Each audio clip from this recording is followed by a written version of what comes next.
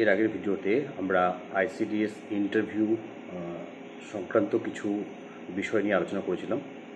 তো এটি হলো এই সিরিজের দ্বিতীয় ভিডিও যারা আইসিডিএস হেল্পার বা ওয়ার্কার নিয়োগের আমার প্রিভিয়াস ভিডিওটি দেখেননি, তারা অবশ্যই আমার চ্যানেলের প্লেলিস্টে গিয়ে সেই ভিডিওটি একবার দেখে নেবেন। আশা করি সেটা আপনাদের জন্য অনেকটাই হেল্প করবে।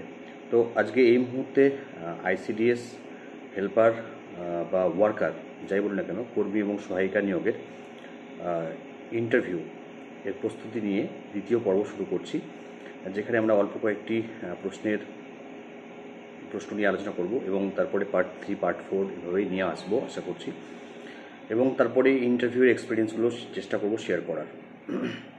তো যেটা বিষয় যে ICDS integrated child development service integrated child development service ICDS এর যে বাংলা নাম, এটা কিন্তু অনেককেই জিজ্ঞেস করা হয়েছে, আমরা প্রিভিয়াসলি দেখেছি। ইভেন ইফ যদি আইসিডিএস সুপারভাইজারের পরীক্ষা দেখা যায়, তাহলে সেখানেও ইন্টারভিউতে এই প্রশ্নটি জিজ্ঞেস করা হয়েছে। তো এই জন্য আপনারা এই আইসিডিএস এর পুরো নাম এবং এর বাংলা অর্থ কী সেটা অবশ্যই জেনে যাবেন। তো আইসিডিএস এর পুরো নাম আমি আগের ভিডিওতেও বলেছি, এবার আরও একবার বলছি। পুরো নাম হলো ইন্টিগ্রেটেড চাইল্ড ডেভেলপমেন্ট সার্ভিসেস এবং এর বাংলা হলো সুসংহত শিশু বিকাশ সেবা, সুসংহত শিশু বিকাশ সেবা, এটা আপনারা লিখে রাখবেন। এরপরে অঙ্গনওয়াড়ি, এই যে অঙ্গনওয়াড়ি, এখানে দেখবেন একটা অঙ্গন বলে একটা শব্দ আছে, অঙ্গন শব্দের অর্থটা আলাদা। অং, এই অঙ্গন থেকে কিন্তু অঙ্গনা শব্দটি আসবে এবং অঙ্গনা শব্দটি, এই জন্যই অঙ্গনা শব্দটির অর্থ জিজ্ঞেস করা হয় বারবার করে কারণ এটা নারী শব্দটির সঙ্গে যুক্ত। এই অঙ্গনা শব্দের অর্থ হলো নারী। তো আপনারা এই অঙ্গনওয়াড়ি শব্দের ক্ষেত্রে এই অঙ্গনা শব্দটির অর্থ অবশ্যই জেনে যাবেন। সঙ্গে আমি প্রিভিয়াসলিও বলেছি, আবার বলছি যে আপনার নামের যদি কোনো বিশেষ অর্থ থাকে, সেটা আপনি অবশ্যই জেনে যাবেন। সেটা কিন্তু আপনাকে প্রশ্ন করা হতে পারে। আচ্ছা এই অঙ্গনওয়াড়ি কর্মী বা অঙ্গনওয়াড়ি সহায়িকা, এদের নিয়োগ কেন করা হয়? অর্থাৎ আপনাকে কেন নিয়োগ করা হচ্ছে অঙ্গনওয়াড়ি সহায়িকা হিসেবে বা কর্মী হিসেবে হেল্পার হিসেবে বা ওয়ার্কার হিসেবে? সেক্ষেত্রে আপনি কী উত্তর দেবেন? তো বেশি বড় করে উত্তর দেওয়ার সুযোগ নেই, তবুও চেষ্টা করবেন সেই ছোট উত্তরের মধ্যে গুছিয়ে বলার। আমি একটু হেল্প করছি, আশা করি কিছুটা হেল্প হবে। গ্রামের শূন্য থেকে ছ বছরের শিশু ল্যাকটেটিং মাদার অর্থাৎ দুগ্ধবতী যারা মা থাকেন তাদের প্রেগনেন্ট লেডি গর্ভবতী মহিলা এবং টিনেজার্স কিশোরী, এদের স্বাস্থ্য পরিষেবা পৌঁছে দেওয়ার জন্য গ্রাম স্তরে বা গ্রাম পঞ্চায়েত লেভেলে আইসিডিএস প্রজেক্টে যেসব নারীদের নিযুক্ত করা হয়, তারা হলেন আইসিডিএস ওয়ার্কার বা কর্মী এবং তাদের সহায়িকা। তাদের অর্থাৎ তাদেরকে হেল্প করার জন্য যাদের নিয়োগ করা হয়, তারা হলেন হেল্পার বা সহায়িকা। আমি আশা করছি বোঝাতে পারলাম। আরও একবার বলছি যে গ্রামের বা গ্রামাঞ্চলের শূন্য থেকে ছয় বছরের শিশু pregnant lady lactating mother teenagers কিশোরী, এদের স্বাস্থ্য বিষয়ক বিভিন্ন পরিষেবাগুলো একদম ঘর দৌড়ে পৌঁছ- দেওয়ার জন্য আইসিডিএস প্রজেক্টে যেসব মহিলা গ্রামাঞ্চলে যাদের নিয়োগ করা হয়, তাদের বলা হয় কর্মী এবং তাদের কাজে সহায়তা করার জন্য যাদের নিয়োগ করা হয়, তাদের বলা হয় সহায়িকা বা হেল্পার। তো এই যে অঙ্গনওয়াড়ি ওয়ার্কার এবং হেল্পার, এদের কাজগুলো কি কি? সেটা বিষয়ে আপনাদের প্রশ্ন করা হতে পারে। এরকম তো নয় যে শুধু আপনি হেল্পার বলেই আপনাকে হেল্পার সম্পর্কে প্রশ্ন করা হবে, আপনাকে ওয়ার্কার সম্পর্কে প্রশ্ন করা হতে পারে। আবার অথবা আপনি ওয়ার্কারের ইন্টারভিউ দিতে যাচ্ছেন তো আপনাকে হেল্পার সম্পর্কে প্রশ্ন করা হতে পারে।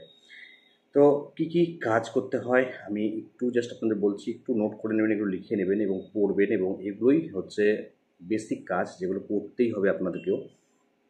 প্রেগনেন্ট লেডি ল্যাকটেটিং মাদার ও শিশুদের পর্যাপ্ত পুষ্টির ব্যবস্থা করা। প্রেগনেন্ট লেডি ল্যাকটেটিং মাদার ও শিশু শিশু বলতে শূন্য থেকে ছ বছর, এটা কিন্তু মাথায় রাখবেন।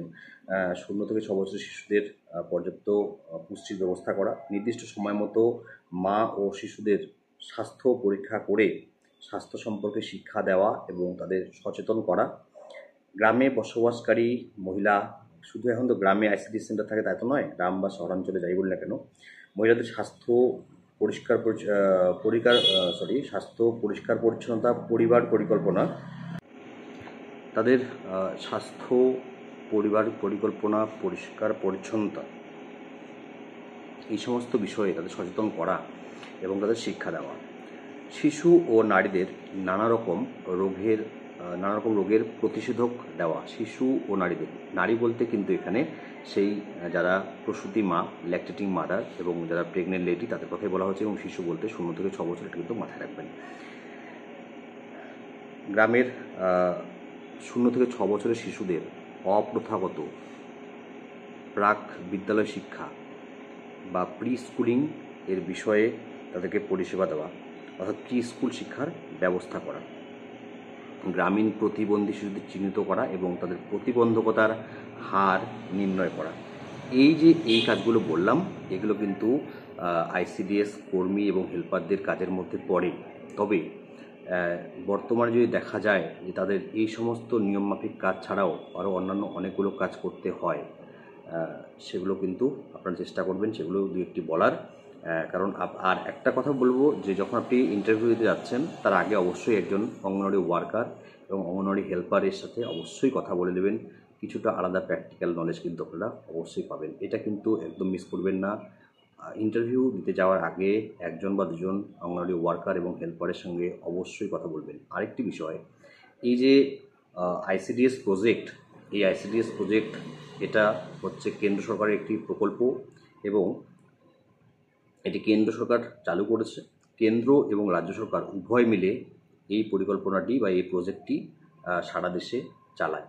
এটা কিন্তু একটি জয়েন্ট প্রজেক্ট কেন্দ্র এবং রাজ্য সরকারের। এমনকি আপনারা যে সাম্মানিক পাবেন, সেটাও কিন্তু শুধু রাজ্যের কাছ থেকে পাবেন তা নয়, সেটাও কিন্তু কেন্দ্রও দেবে, রাজ্য দেবে, দুজন মিলেই কিন্তু দেবে। এই ছিল দ্বিতীয় পর্ব। কেমন লাগল অবশ্যই জানাবেন, জানাতে ভুলবেন না। আর কমেন্ট সেকশনে কমেন্ট করে আপনাদের মতামত জানাতে ভুলবেন না। পরের সিরিজ চাই কি না বা পরের পর্ব চাই কিনা সেটাও কিন্তু কমেন্ট সেকশনে কমেন্ট জানাবেন। আপনাদের যদি অন্য কোনো রকম মতামত থাকে বা কিছু জানানোর থাকে সেটাও শেয়ার করবেন। ধন্যবাদ সকলকে। আপনাদের জন্য শুভকামনা রইল। তৃতীয় পর্ব নিয়ে আসব নিশ্চয়ই।